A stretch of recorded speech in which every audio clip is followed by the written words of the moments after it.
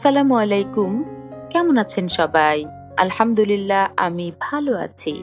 শীতে কর্নপ্লান্ট গাছের পাতা নষ্ট হয়ে যায়। আমার গাছের পাতাও নষ্ট হয়ে গেছে। পাতা নষ্ট হয়ে গেলেও কোনো সমস্যা হয় না। অনেকেই আমাকে জিজ্ঞেস করেন, কর্নপ্লান্টের পাতা লাগালে কি গাছ হবে? পাতা না, কর্নপ্লান্টের শিকড় লাগাতে হবে। শিকড় থেকেই মূলত গাছ হয়। এই গাছটা এই টবে আছে প্রায় দুই বছর। পুরো টব ভরে গেছে। আমি আরও বেশ কিছু চারাও করব। এই জন্যই রিপোর্টিং করা জরুরি। বছরের যে কোনো সময়েই রিপোর্টিং করতে পারেন। সুন্দর সুন্দর টবে গাছগুলো লাগাতে পারলে ভালো হতো, কিন্তু ঘরে কোনো টব নেই। তাই ডিব্বা, বাটি, মগ এগুলোতেই লাগিয়ে দেব। ভিডিওটা ভালো লাগলে একটা লাইক দেবেন শেয়ার করবেন। কোনো প্রশ্ন থাকলে কমেন্ট করতে পারেন। আমার চ্যানেলটা যারা নতুন দেখছেন সাবস্ক্রাইব করে পাশে থাকা বেল আইকনটি ক্লিক করে রাখবেন।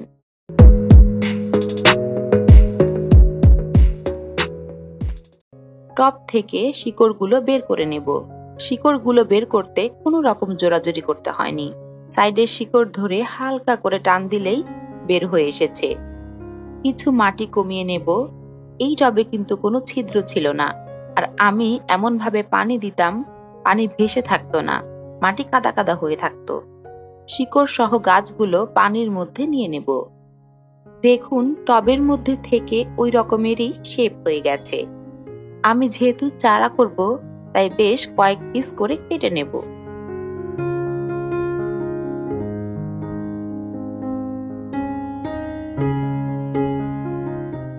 কর্ন প্লান্টের জন্য মাটি কীভাবে রেডি করবেন?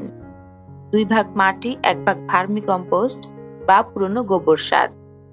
কাদা মাটিতেও এই গাছ লাগাতে পারেন, আবার ঝরঝরে মাটিতেও লাগাতে পারেন।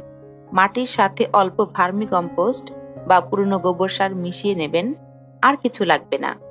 আমি মাটির সাথে ভার্মি কম্পোস্ট মিশিয়ে নিলাম। এখন তিন পিস শিকড় এর মধ্যে লাগিয়ে দেব। এইটাই আস্তে আস্তে ঝোপালো হয়ে যাবে। আরও একটা পাত্রে সেম ভাবে লাগিয়ে দেব। এই পাত্রেও কোনো ছিদ্র করিনি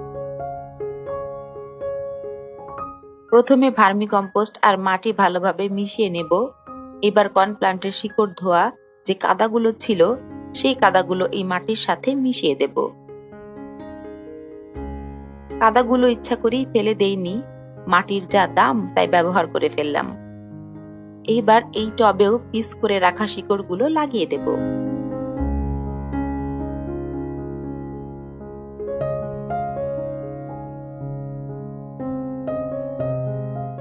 কিছু রঙিন পাথর নিয়ে নিলাম। মগের মধ্যে পাথর দিয়ে দেব।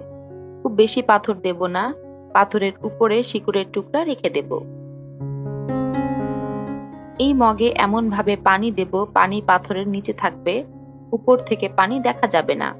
আমি বেশি দিয়ে ফেলেছি, পরে কমিয়ে নেব।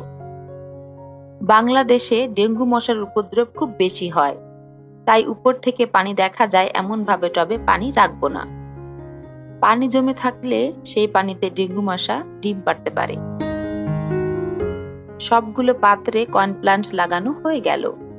এখন সকালে রোদ পায় এমন জায়গায় রাখব, দ্রুত পাতা বের হওয়া শুরু করবে। গাছে তিন চার মাস আর কোনো খাবার দিতে হবে না। তিন চার মাস পর ভার্মি কম্পোস্ট এক মুঠ, এক লিটার পানিতে দুই দিন ভিজিয়ে রেখে সেই পানিটা মাসে একবার দিতে পারেন। কয়েন প্লান্ট গাছের যত্ন বলতে গাছে নিয়মিত পানি দিতে হবে। পাতাগুলো বড় হয়ে নষ্ট হতে শুরু করলে কেটে দিতে হবে। আবার নতুন পাতা এসে টব ভরে যাবে। অনেকেই বলে থাকেন, এটা তো ইনডোর গাছ। ইনডোর মানেই ঘরের মধ্যে থাকে তা কিন্তু না। এই গাছেও রোদের প্রয়োজন আছে।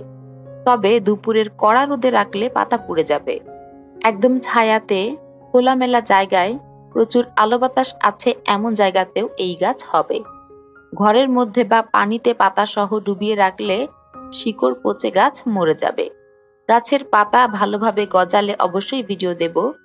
সবাই ভালো থাকবেন। সবার জন্য শুভকামনা।